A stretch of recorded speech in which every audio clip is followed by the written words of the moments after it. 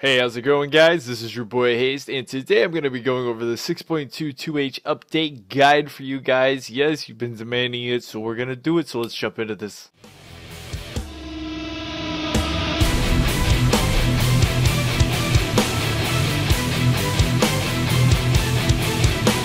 As we all know, you gotta know what talents you're using before you can really do anything. You gotta have the right abilities. So for 2H, you're definitely gonna be going in for Plague Leech, guys, because uh, any of the others two just don't do it for 2H. It's just not worth it.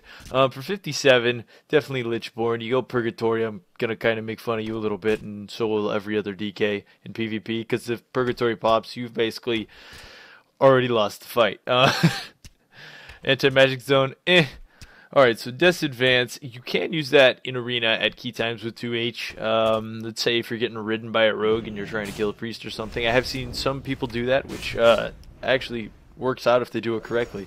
Um, but as for what you're going to be rocking with 2H most of the time, probably Asphyxiate, guys. Um, why do I have Chilblains right now? Ah, I was just having fun with it. Uh, you can also use that in Arena if you're like uh, certain comps like TSG and whatnot, so you'll be fine there. As for the level 60 talents, with 2H, you can actually go either of the three. Some people like Blood Tap. I absolutely hate Blood Tap. Blood Tap, just get out of just get out of here. Some people actually prefer it. They got used to it when uh, it was back in the Necro days, the Necro stacking days, so they got used to that. So it's eh. A lot of people like RC because it gives you uh, overall damage, but if I wanted the overall damage right now, I'd definitely go dual wield. Um, but as for that upfront instant burst, I definitely would still go RE for the uh, for 2H. Um, as for the heal death siphons, definitely still on top, guys. Um, conversion can be strong if you're sitting blood presence and healing off a bit, but as for defensive pressure, it's not going to be that great for using. Um, so definitely go with uh, siphon. As for the level 90 talents, of course, you can go remorseless for fighting certain comps in arena. As for desecrated ground, eh, eh, still the same. Um, as for the level 100 talents, this is what everyone's like, man, do I change over, do I stay, can I can I use the old fashioned macro, the old bursty your face off macro? Yeah guys, it's still viable. The uh, Necrotic Plague spec actually is stronger, in arena wise, it is stronger for 2H, um, because, you know, of course they buff the uh, Frost Strike damage a little bit, and of course the uh, Howling Blast damage. Howling Blast, I believe they nerfed the Frost Strike back down to normal for uh, 2H. And uh, basically, I believe it only got. Actually, I believe the reworked uh, attack power stacking from Dual Wield still applies. Um, so I believe 2H also got a slight buff on their complete rotation, which actually means with 2H, I would I'm actually starting to lean towards uh, Necrotic Plague and Runic Corruption for 2H because of how this concept kind of all flows together. But you know me, I'm kind of stubborn. I like to do things. Uh, how I just kind of like to do them, I suppose. So runic empowerment is kind of the way I go. And that all sets up. So you know what talents we're using. Let's jump over to glyphs and we'll talk about the slight change that occurred. So when we're discussing glyph, everything is really just about the same. You know, you got your empowerment, you got your, uh, you know, increase runic power by uh, slowing effect, and of course your icy touch.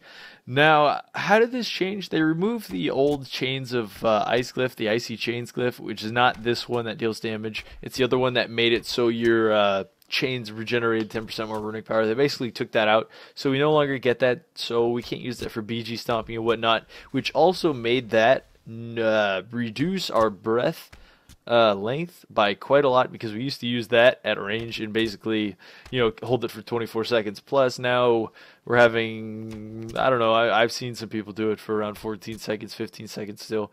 But even then, it's still lacking compared to what it was, definitely.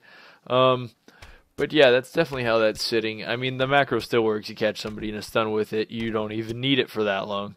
Everyone knows that. but anyways, guys, yeah, that's what's going on with the glyphs. Um, as for rotation and uh, whatnot, everything's still the same. Now, people uh, keep asking me like, now gear, like what stat should I be using for 2H? That's definitely a big thing. For 2H, guys, you're going to be going. Uh, versatility stacking, of course, and haste are going to be your two main stats. Now, why are those your two main stats? Because you want haste for cooldowns on your runes to give you more obliterates so you can shuffle out obliterates over and over and over again because that's what you really want to do with the spec. And, uh, yeah, and really just blow people up by smashing them with them obliterates. Uh, but yeah, the versatility stacking, why do you want that? It gives you a lot more top end for your obliterates. It's going to give you more damage in the long run since your main damage is not based off of, uh, you know, Howling Blast and Frost Strike. So you're going to get most of yours from versatility. It's kind of like almost stacking strength for a warrior if you kind of think about it in a weird sense. Um, and basically, of course, haste because, yeah, I explained that. So, yeah, that's about it, guys. Uh, as for mastery, I believe it falls probably in third for 2H for stat wise. So if you can't get haste, you can't get versatility.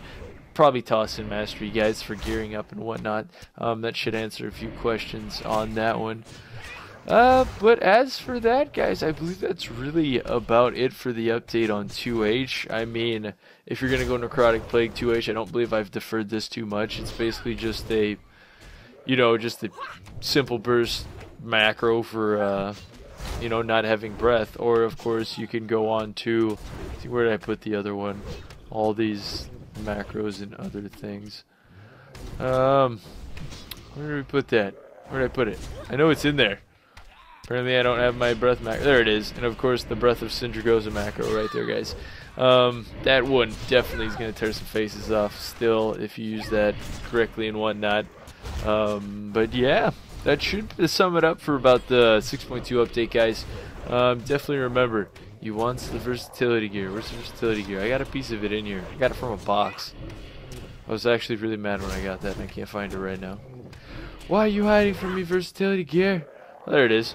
Alright, so this versatility gear right here. Now watch the top end on this. When you put on a piece of versatility gear with the 2H, uh, you're going to go from like 9, 9353 top end to, you know, 95, which is like 150 top end, which a crit is going to be, you know, 300 plus with that extra amount. It's going to add, you know, 400 plus top into your obliterates. Now you stack that up with times 12 and you've got quite a lot of damage coming in, so that's why you're going to be doing that. Um, as for enchants, I didn't even think about that, guys. What are you going to be doing for that stuff? Now, Fallen Crusader, of course. And uh, now the other thing is, no, that's not the good one I want to show, is uh, what should you be gemming? Obviously, if you get uh, pieces of gear, throw versatility in that piece. Just versatility the crap out of that thing, man. You're going to be hitting like a truck. If you got full versatility stack on 2H, that would be absolutely terrifying to come up against a uh, full versatility 2H DK at the moment, I gotta admit, guys. That would be, that'd be pretty threatening. Um, as for trinkets, of course you want the damage trinkets, guys. You want the versatility in the strength versatility. You want both those. Um, but, yeah, it's you. Okay, you also want they don't even have the right enchant. For the back enchant, you're going to want the versatility enchant, of course, for 2H. And the versatility enchant for your neck, which I've got mastery because it's dualed. And you want the versatility enchants for both of your rings. Now, I believe we've covered just about everything there is for about 6.2 updates for this patch thinking, I'm pondering, I'm pondering again, I'm thinking, and that should cover it, guys. I hope you enjoy this video, guys, and I hope it answered your questions. If you have any more about 6.22H and playing it at the moment, go ahead and ask me, and I will reply, guys.